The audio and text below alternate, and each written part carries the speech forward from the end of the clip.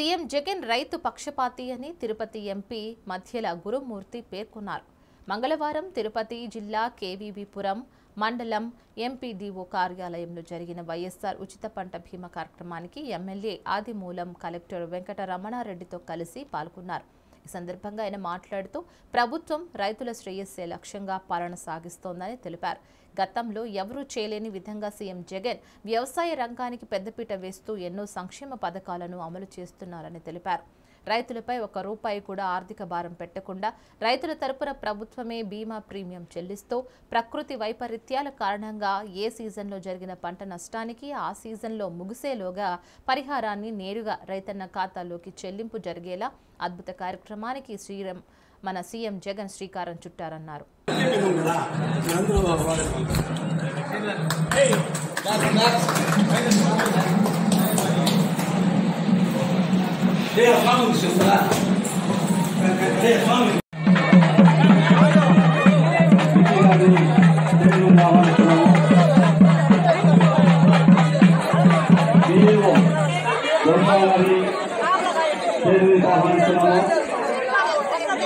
కోరుతున్నాము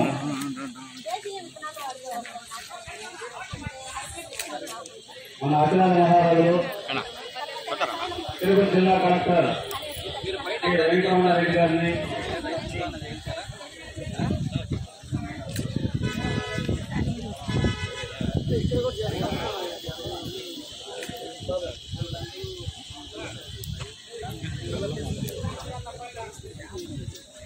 ఎక్కువ సమయంలో చెప్పినప్పుడు చెప్పినప్పటికీ గౌరవనీయులు మన ఎమ్మెల్యే గారు ఎంతో చక్కగా చక్కటి వాతావరణంలో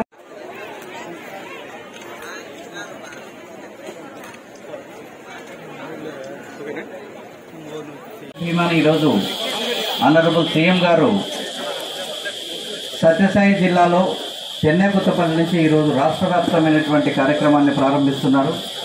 అందులో భాగంగా ఈరోజు మనము సత్యవేడు కాన్స్టిట్యున్సీకి సంబంధించి కేవీబీపురంలో మన ఆనరబుల్ ఎమ్మెల్యే గారు అయినటువంటి ఆదిమూలం గారు ఈ సమావేశానికి అధ్యక్షత కూడా వహిస్తున్నటువంటి గౌరవనీయులు. అదేవిధంగా ఈ సమావేశానికి ముఖ్య అతిథిగా విచ్చేసినటువంటి మన తిరుపతి ఎంపీ గారికి అదేవిధంగా ఈ సత్యవేడు కాన్స్టిట్యున్సీకి నుంచి వచ్చినటువంటి ఎంపీపీలు జెడ్పీటీసీలు ఎంపీటీసీలు లోకల్ ఎంపీటీసీలు జెడ్పీటీసీలు సర్పంచులు అదేవిధంగా ఈ సమావేశానికి ఇచ్చేసినటువంటి రైతు సోదరులందరికీ కూడా నమస్కారాలు. అదేవిధంగా ఇక్కడికి విచ్చేసినటువంటి ప్రింట్ అండ్ ఎలక్ట్రానిక్ మీడియా అందరికీ కూడా నా ధన్యవాదాలు తెలుపుకుంటున్నా. ఇక ఈ రైతుల పక్షపాతి మనం కలెక్టర్ గారు అన్నారు.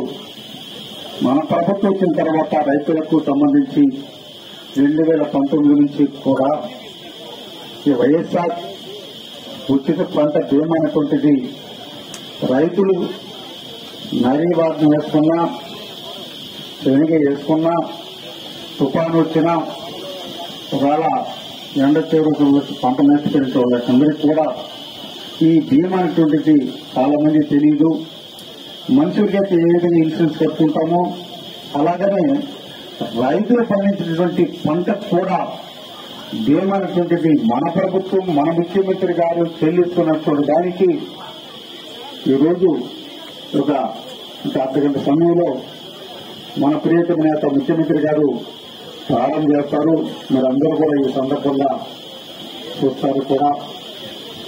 ఈరోజు మరి ముఖ్యంగా మన తెలుగుదేశాలకు సంబంధించి ఈ కార్యక్రమాన్ని మన సత్య నియోజకవర్గంలో రైతులకు ఎక్కువగా బాగున్నటువంటి కేపూర్ మండలంలో ఈ కార్యక్రమం నిర్వహించడం దీనికి మన జిల్లా కలెక్టర్ రావడం మన ఎంపీగా రావడం జిల్లాధికారి అంతరం రావడం ప్రజాపతి రావడం పాత్రిక సోదరులు ఎలక్ట్రిక్ మీడియా అందరికీ కూడా ప్రత్యేకంగా అభివృద్ధి తెలియజేసుకుంటున్నాం. ఎందుకంటే ఇలాంటి కార్యక్రమం ఎక్కువ టౌన్లోనూ కాన్సెన్స్ హెడ్ క్వార్టర్లోనూ సత్రాల్లో పెట్టి చెప్పడం కంటే కూడా నిజమైనటువంటి రైతులు ఉన్న చోట నిరంతరం కూడా ఈ మండలంలో మొన్న ఈ కేపురం మండలంలో మొన్న కూడా రైతు కూడా చేస్తే మరి ఏడు వేల ఆరు వందల పైచీల మందికి రైతు భరోసా ఇచ్చాం నియోజకవర్గంలోనే పెద్ద నియోజకవర్గ మండలం ఇది. రైతులు ఎక్కువ ఉన్నట్టు మండలం. నిరంతరం కూడా కష్టపడే మండలం.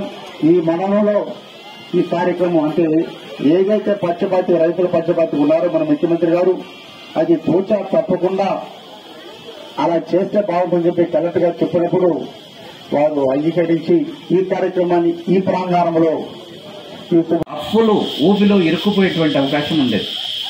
సో ఇదంతా గమనించినటువంటి మన ప్రభుత్వం ఈ రైతులకు ఏదో విధంగా సహాయం చేయాలనే ఉద్దేశంతో ఈ ఉచిత పంటల బీమాను ప్రభుత్వమే కట్టడం అనేది రెండు వేల పంతొమ్మిది నుంచి ప్రారంభించడం జరిగింది.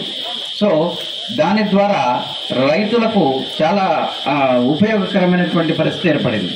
ఇప్పుడు ఈ విధంగా తీసుకున్నట్టయితే మన జిల్లా వరకు తీసుకుంటే తిరుపతి జిల్లాకు రెండు వేల పంతొమ్మిది సంవత్సరానికి గాను ఖరీఫ్ సీజన్లో ఇరవై వేల మందికి దా- లబ్ధిదారులకు దాదాపు పదహైదు పాయింట్ తొమ్మిది కోట్ల రూపాయలు మంజూరు చేయడం జరిగింది. రెండు వేల ఇరవై సంవత్సరంలో ఖరీఫ్ సీజన్కి సంబంధించి ఏడు వేల రెండు వందల తొంభై నాలుగు మంది లబ్ధిదారులకు ఇరవై నాలుగు పాయింట్ ఏడు కోట్ల రూపాయలు మంజూరు చేయడం జరిగింది. గత రె- రెండేళ్ళు చూసుకున్నట్లయితే దాదాపు నలభై కోట్ల రూపాయలు ఇరవై ఎనిమిది వేల మంది రైతుల వరకు ఇవ్వడం జరిగింది. ఈ సంవత్సరంలో మనము పంటల బీమా కింద రెండు రకాలైనటువంటి పంటలను మనము దీంట్లో మనము పంట ఎంపిక చేయడం జరుగుతుంది. దిగుబడి ఆధారంగా కొన్ని పంటలు చేస్తాం. అదే వాతావరణ బీమా ఆధారంగా కొన్ని పంటలను ఏర్పాటు చేస్తాం. సో జిల్లా కలెక్టర్ గారికి అలాగే మా అన్న మన ప్రీతం శాసన సభ్యులు రాజమూరు అన్న గారికి మరియు వేదికను అలంకరించినటువంటి YSR Congress party ZPTC MPTC సర్పంచ్లు పార్టీ కన్వీనర్లు అలాగే వ్యవసాయ అధికారులు హార్టికల్చర్ అధికారులు ప్రతి ఒక్కరికి రెవెన్యూ అధికారులు ప్రతి ఒక్కరికి ఇక్కడికి వచ్చేసినటువంటి పాత్రికేయులకి పోలీసులకి ప్రతి ఒక్కరికి నా హృదయపూర్వక ధన్యవాదాలు. మన ముఖ్యమంత్రి వర్యులు ఈ రాష్ట్రంలో ఉన్నటువంటి దాదాపుగా ఎనభై శాతం మంది ప్రజలు వ్యవసాయం మీద ఆధారపడి జీవిస్తున్నారు. సో వీళ్ళు ఏ తుఫాన్లు వచ్చినా కానీ లేదంటే కరువులు వచ్చినా కానీ వరదలు వచ్చినా ఎప్పుడు వచ్చినా ఫస్ట్ నష్టపోయేది రైతన్నే అని భావించి ఎలాగైనా రైతన్నకి అండగా ఉండాలి.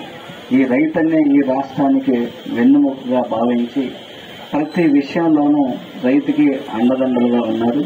దానిలో భాగంగా రైతు యొక్క పంటకి ఇన్సూరెన్స్ మనము మనమే ప్రభుత్వమే కట్టినట్టయితే రైతన్నకి చేదోడు వగడుగా ఉండి నష్టపోకుండా ఉంటారు అన్న ఉద్దేశంతో దాదాపుగా మూడు వేల కోట్ల రూపాయలు ప్రతి సంవత్సరం విడుదల చేయబడుతూ ఉంది. అలాగే రైతును దృష్టిలో పెట్టుకొని రైతు భరోసా కేంద్రాల ద్వారా విత్తనం నాటే దగ్గర నుంచి నూర్పుడు చేసి మార్కెటింగ్ చేసుకునే దగ్గర వరకు ప్రతి విషయంలోనూ అండదండలుగా ఉన్నారు.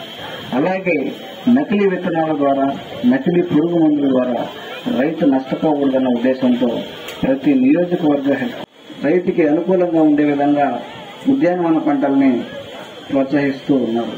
ఇవన్నీ రైతు భరోసా కేంద్రాల్లో ఉన్నటువంటి మన వ్యవసాయ సంబంధించినటువంటి ఏవో ఆఫీస్ నుంచి కానీ లేదంటే అగ్రికల్చర్ అసిస్టెంట్ ప్రతి గ్రామంలో ఉంటూ మా అందరికీ సహాయ సహకారాలుగా ఉంటూ మీకు ఏ విషయం సమస్య కూడా మీరు ఆర్బీకే కేంద్రాల ద్వారా కానీ గ్రామ సచివాలయాల ద్వారా కానీ మీరు కంప్లైంట్ చేసిన వెంటనే కూడా మన జిల్లా ఏర్పడిన తర్వాత మొట్టమొదటిగా మనకు వచ్చినటువంటి కలెక్టర్ గారు ఏ మాత్రం క్షణం ఆలోచించకుండా ఆయన పనితీరు చాలా అద్భుతంగా ఉంది.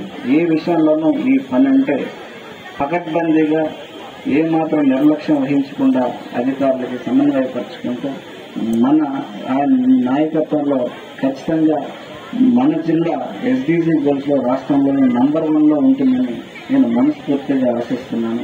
అదేవిధంగా